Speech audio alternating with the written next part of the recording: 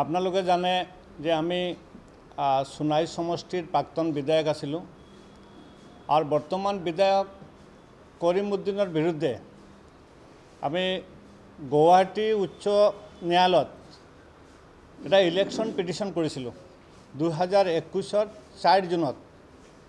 আৰু এই election petition যিটো কৰিছিলোঁ কৰাৰ পিছত মহামান্য আদালত এটা ৰায় দিছিলে কৰিমুদ্দিন বৰবুৰীয়াক কৈছিলে যে আমিনুল হক লস্কৰে যিটো অভিযোগ আনিছে ওপৰত যে তুমি ৰিটাৰ্ণ ষ্টেটমেণ্টটো কোৰ্টত জমা দিব লাগে অৰ্থাৎ ডাব্লিউ এছটো দিব লাগে।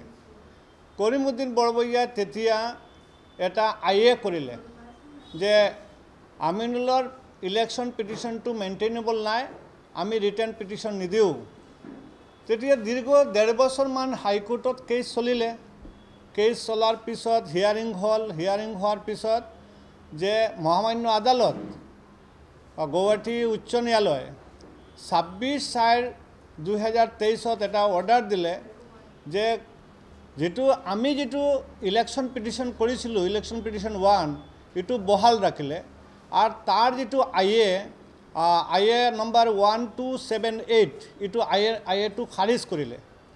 এই খাৰিজ কৰাৰ পিছত তাক ক'লে যে পোন্ধৰ চাৰি দুই হাজাৰ তেইছত তুমি ৰিটাৰ্ণ ষ্টেটমেণ্টটো দিব লাগিব গুৱাহাটী হাইকোৰ্ট হাইকোৰ্টত উচ্চ আদালত। কিন্তু এই অৰ্ডাৰত সি চেলেঞ্জ কৰিলে আহ, উচ্চতম আদালত ন্যায়ালয়ত দিল্লীত যে আহ, আমিনুলৰ যিটো অৰ্ডাৰ হাইকোৰ্টে দিছে এইটোত আমি চেলেঞ্জ কৰিছিলোঁ আৰু এইটো এছ এল পি কৰিলে এটা। এছ এল পি কৰিলে এছ এল পি ক'লে কৰি সি ৰিলিফ চাইছিলে যে উচ্চ ন্যায়ালয়ক আমাক এইটো ৰিলিফ দিয়ক এইটো ষ্টে দিয়ক।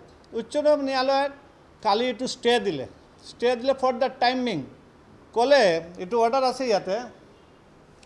এই অৰ্ডাৰটো এই অৰ্ডাৰটো চিম্পুল ইয়াতে লেখা আছে যে নেক্সট ইয়াতে further proceeding in election petition number one two zero' two one pending in the Guwahati high court shall remain stay until the next date of hearing next date পৰ্যন্ত হিয়াৰিং দিছে ষ্টে মানে প্ৰচিডিংটো stay কৰিছে কালি এইটো order ওলোৱাৰ পিছত কৰিমুদ্দিন বৰবৰীয়াৰ বৰ্তমান যে জালিয়াতি চৰ্দাৰ যিজন বিধায়ক আছিলে সোণাই, সি ক'লে, সত্যমে জয়তে, তাৰ জয় হৈ গৈছে। কি জয় হৈছে? সুপ্ৰিম কোৰ্টে যদি অৰ্ডাৰ এটা ষ্টে দিয়ে এইটো বাৰ্ডিক নহয়।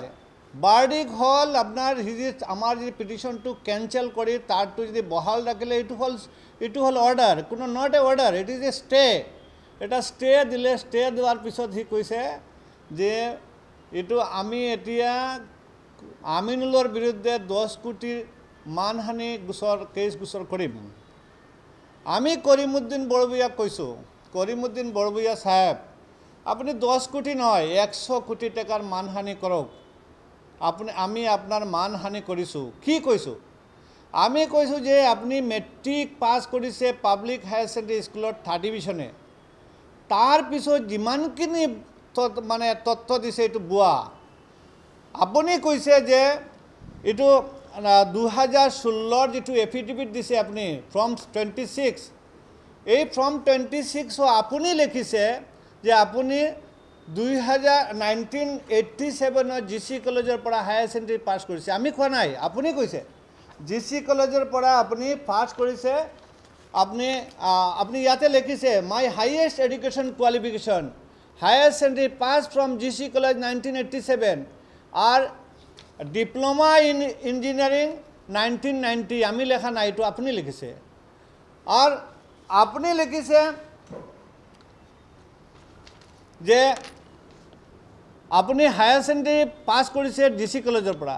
জি চি কলেজে এইটো জি চি কলেজে এইটো আৰ টি আই ৰিপ্লাই দিছে যে এইটো জি চি কলেজৰ R T I reply G C কলেজে কৈছে যে কৰিমুদ্দিন বৰবৰীয়া নাইনটিন এইট্টি ছেভেনৰ আমাৰ জি চি কলেজৰ পৰা এপিয়াৰ কৰিছিলে কিন্তু সিহঁতৰ মাৰ্ক ৰেজিষ্টাৰত কোনো মাৰ্ক নাই অৰ্থাৎ ফেইল